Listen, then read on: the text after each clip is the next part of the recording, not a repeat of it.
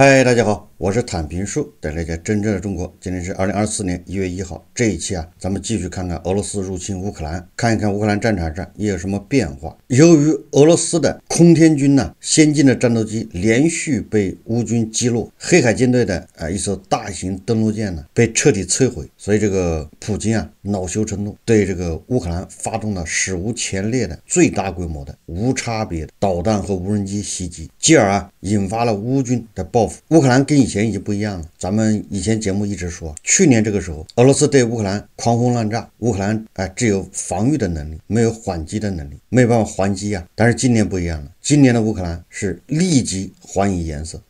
根据战争研究所的评估啊，乌克兰于十二月二十九日至三十日晚上向俄罗斯发射的无人机大都击中了目标。乌克兰安全部门的消息人士告诉媒体，乌军于十二月二十九日至三十日晚上向着莫斯科、别尔格勒德、图拉特维尔和布良斯克等城市附近的俄罗斯军事设施和国防工业设施发射了七十多架无人机。当然了，根据俄罗斯国防部的说法呀，俄军在布良斯克州奥利。尔州、库尔斯克州和莫斯科州拦截了三十二架乌克兰无人机。为此啊，俄罗斯还要求联合国召开安理会会议，遭到联合国的拒绝。除了轰炸俄罗斯的工厂、军事基地和能源储备库，还打掉了俄罗斯本土的一家生产弹药的兵工厂。二零二三年年末啊发生的这一幕，预示着啊，二零二四年开始，这个战火啊会烧向俄罗斯全境，没有一个城市能够避免。俄罗斯啊，可以说是叫求。锤得锤，求人得人。他们对乌克兰已经狂轰滥炸将近两年，那么这个也要反作用到俄罗斯身上。乌克兰打击俄罗斯境内的这些军事目标啊、军事设施，难免啊会造成俄罗斯的平民的一些伤亡。但是这个你没有办法怪到乌克兰人的头上，因为乌克兰人呢已经忍耐两年了，那一直被俄罗斯这样狂轰滥炸。如果乌克兰不对俄罗斯境内的这些军事目标实施打击，进行有限的自卫啊，那么俄罗斯啊。它会有更多的导弹、无人机去轰炸乌克兰，哎，这属于一种自卫。俄罗斯人要想避免这样的轰炸，其实很简单，只要啊停止无差别攻击乌克兰。主动的啊，将战火仅仅限于乌东战场、赫尔松、克里米亚这些地方。二零二四年的乌克兰已经不是二零二三年的乌克兰，所以说啊，俄罗斯啊还是要好自为之啊。为了俄罗斯人的安全，双方有什么能耐、有什么军事实实力、有什么高精尖的武器，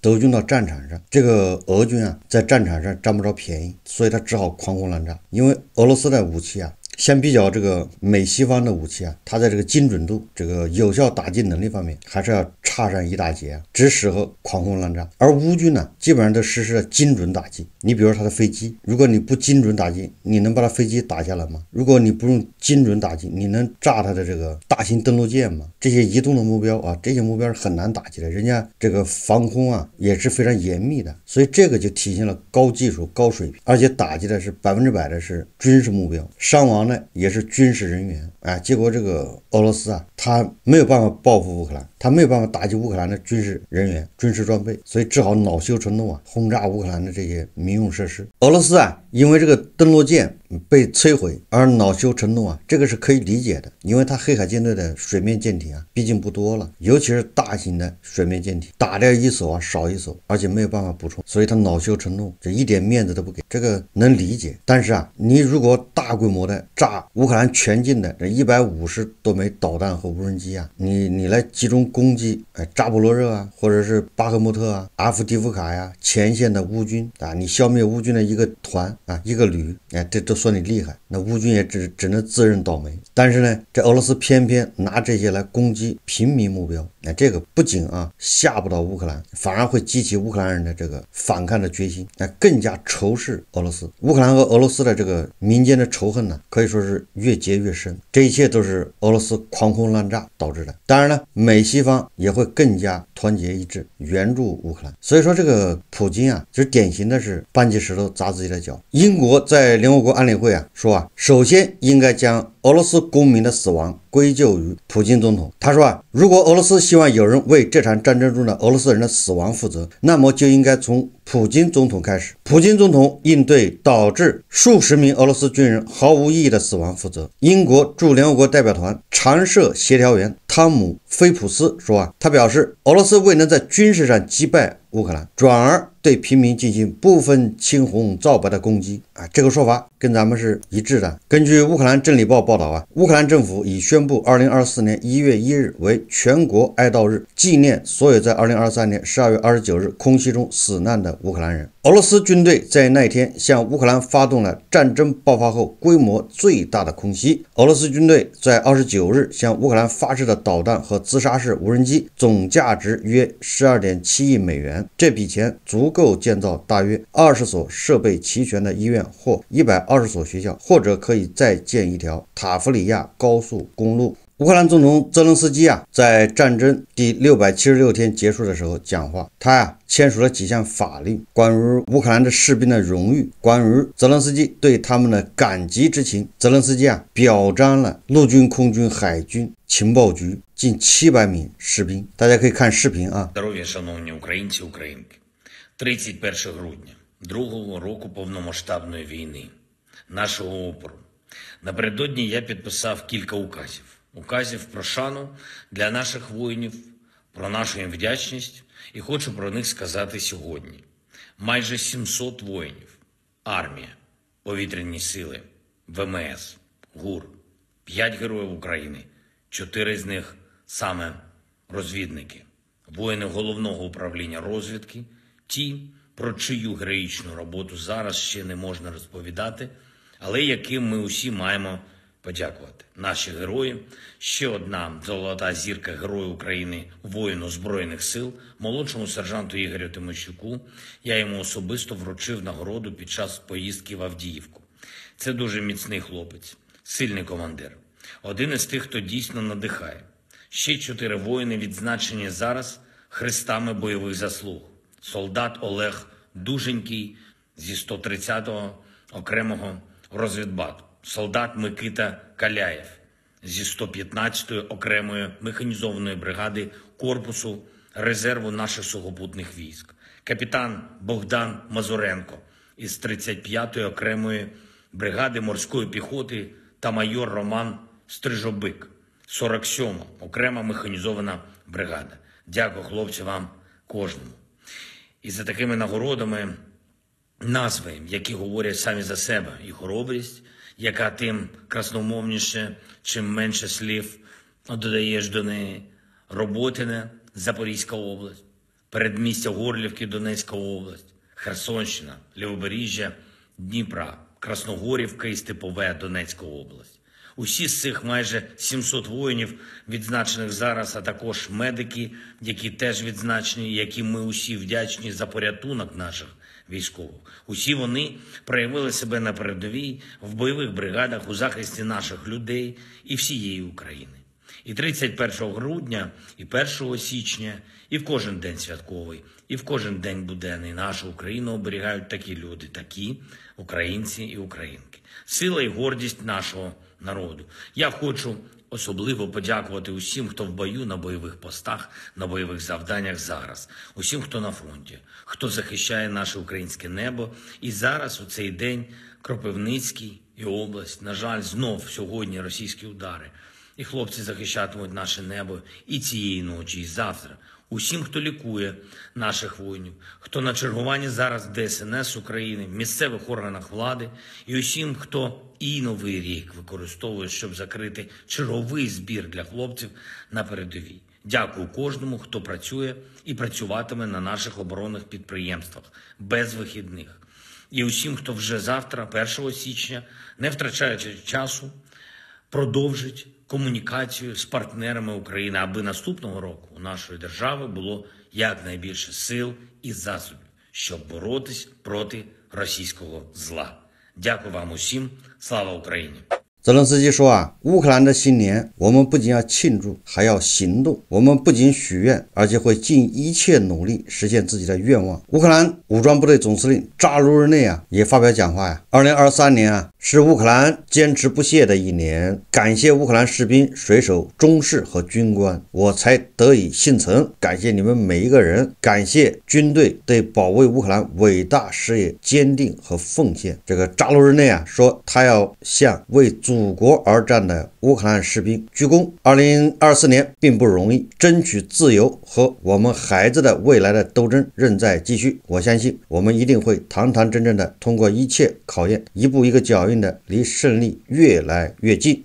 当前正在战斗中，在观察哨处使用无人机进行侦查或消灭敌人的每一个人，谁顶住了打击并反击了他，我们士兵的亲戚和朋友，祝所有相信并帮助乌克兰武装部队的人新年快乐。我们看看这个俄罗斯人是怎么说的。首先啊，这个俄罗斯国防部长谢尔盖绍伊古周日表示，由于俄罗斯士兵的英勇，在过去一年中，敌方的所有计划全部落落。空，这个是俄罗斯卫星通讯社报道的。由于你们的英勇和对祖国的无私奉献，敌人的所有计划全部落空。坚定不移的决心和必胜的意志，曾经是并且现在也是俄罗斯军队士兵的核心。沙伊古对俄罗斯士兵在战场上表现出来的坚韧不拔和英勇精神表示感谢，对他们在战斗岗位上的尽职尽责表示感谢，对他们的远离祖国的地方完成任务表示感谢。沙伊古还说啊。为祖国的自由和独立奉献生命的我们战士同志，他们所有人都是英雄，他们将永远活在我们心中。帮助军人家庭，现在和未来，无疑依旧是俄罗斯军事部门的优先事项。这个绍伊古的说法呀，可以说是自欺欺人呐。不知道他自己相信不相信啊？现在发生在乌克兰的这一切，与俄罗斯的独立自由有什么关系呢？这个不就是为了普京多吃那么一口鱼子酱吗？他们是为了俄罗斯的独立奉献生命，其实不然啊！实际上，他们是为了普京等一小撮俄罗斯人的所谓的荣光、所谓的那不切实际的梦想而成为耗材。关于这个俄乌战场的残酷、俄乌战场的实际的情况，咱们通过啊几个中国人呢，他们加入。俄罗斯的雇佣军之后啊，他们发的视频一些描述，哎，你就知道发生在乌克兰的这一切到底是怎么回事。俄罗斯人自己都知道，哎，这是在别人的领土上，你这不是收复啊，不是光复啊，你这是侵略。梅德韦杰夫啊也新年致辞，他说啊，今天我们的心与那些在前线与战友们并肩作战的人们同在，没有什么比战友情谊更珍贵。俄罗斯人肩负着一项重要任务，使2024年成为最终。击败新法西斯主义的一年，这个梅德韦杰夫啊，还是一贯的啊，这个指桑骂槐、含沙射影。他说啊，使二零二四年成为最终击败新法西斯主义的一年，这个实际上也是在指普京啊，因为法西斯是谁，一目了然，就是普京。所以梅德韦杰夫啊，寄希望于二零二四年，对吧？要击败普京。普京啊，是梅德韦杰夫的政敌呀，曾经的盟友，现在是政敌。当地时间十二月三十一日，俄罗斯马加丹。勘察家彼得罗巴夫洛夫斯克、布拉戈维申斯克和弗拉迪沃斯托沃克市在社交媒体上宣布，出于安全考虑，取消各自地区三十一日夜间新年焰火燃放和庆祝活动。还是害怕这个乌克兰的导弹和无人机啊？根据媒体报道啊，说首批十八架 F 十六战机已经抵达乌克兰，乌军飞行员密集训练中。乌方发布的视频啊，F 十六战机。以喷涂乌军的标志和军徽。土耳其媒体称啊，又有二十四架 F 十六进入乌克兰，驾驶员由北约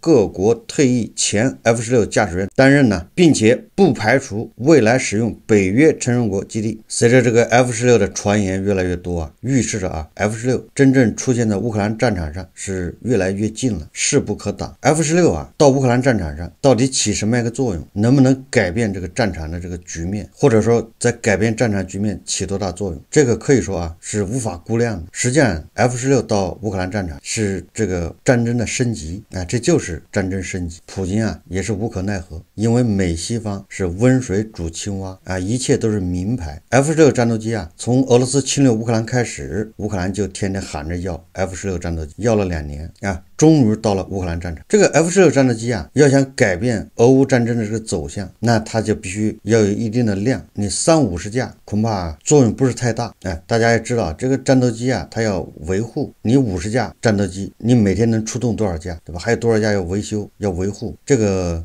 对乌克兰来说啊，这压力都不小，因为它是个系统工程，从地勤是吧，到什么武器库，到防空，到它的什么卫星这个指挥，然后空军还要跟陆军的配合等等啊，就这个是一个系统工程，不是说多了一款武器那么简单。所以第一个，它的数量要上去，如果只有三十架，那你每天能出动的恐怕也就十几架、二十架。那，俄乌战争这个强度这么大，你出出动十几架飞机，意义不是太大。F 十六啊，到乌克兰战场，它主要有两个作用，一个就是制空权，那这样让乌克兰的地面部队啊啊不受这个什么卡五十二呀，不受什么苏苏二四、苏二五啊受他们袭击，那要不然这些飞机它老是投弹呢，因为这些飞机不值钱，它冒着这个被乌军啊击落的风险去轰炸。那有了 F 十六之后，这些飞机恐怕就不能再去执行这种危险任务，那是自寻死路啊！啊，这是制空权啊。第二个呢，实际上 F 十六的最大的作用，它是打开了一个武器仓库，因为美西方啊，他们重点也是空军、海军的武器。第一轮啊，这一年多两年的时间，实际上把美西方的这个陆军的这些库存呢，啊，基本上已经清的差不多了。那再清的话，恐怕它就要生产新的，这个有点不合算了。你看这个欧盟啊，本来答应给乌克兰一百万发一百五十五毫米的炮弹，结果只给了三十万发，还有七十万发凑不齐，找都找不到，买也买不到。为什么呢？是他们没有生产线吗？是他们没有技术吗？是他们没有原料吗？不是的，哎，他们只要愿意生产，他们马上上一条生产线，很快的。你看拖到现在，就是因为啊，他们认为还有很多武器没用。乌克兰战场上，乌军现在主要依靠一百五十五毫米的炮弹对俄军进行炮火压制、精准打击。恐怕大家都知道啊，这个俄乌战场上，你咱们通过那个这周志强啊，还有什么赵瑞的他们的视频，双方是以炮战和无人机战为主，派士兵去冲锋啊，那是俄军干的事，把人命不当命。乌军都是靠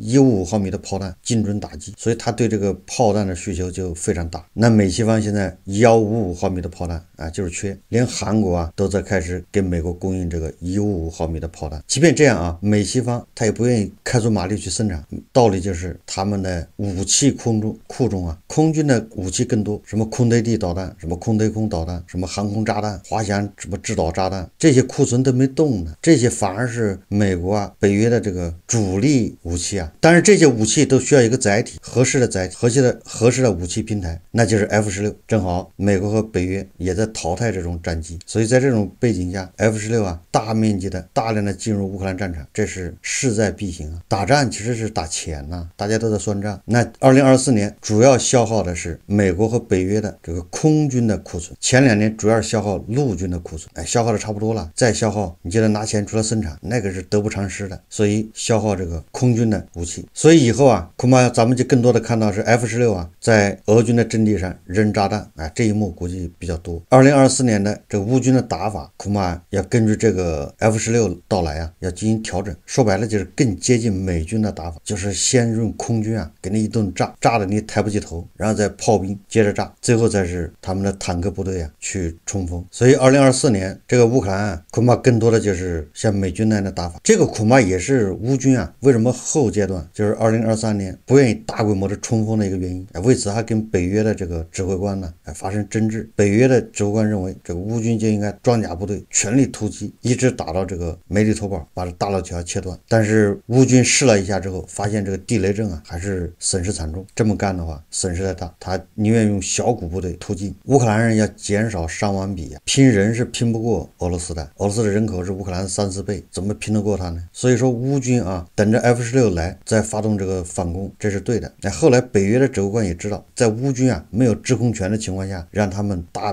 规模的这个突击，这是无异于自杀呀。所以我们有理由相信啊，二零二四年对乌军来说要轻松得多。那反过来对俄军来说呢，那是悲剧啊，刚刚开始。好，这期节目啊咱们就聊到这里，感谢大家收看。如果喜欢我的节目，欢迎订阅转发，也可以在下方留言评论。谢谢大家。